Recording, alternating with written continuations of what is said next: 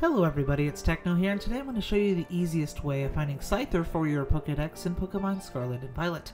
You can start off by flying over to the Pokemon Center here in North Province, Area 2, and anywhere in this bamboo-infested area you can find Scyther. And as you can see, there are already several on my screen. Uh, five, I think? Holy cow, six, seven? There's like seven Scyther in this video already. Anyways, that's how you find Scyther in Pokemon Scarlet and Violet. If you're interested in more free of fluff video guides like this one, go ahead and click the playlist on screen now. I hope you enjoyed the video, and as always, Techno's out.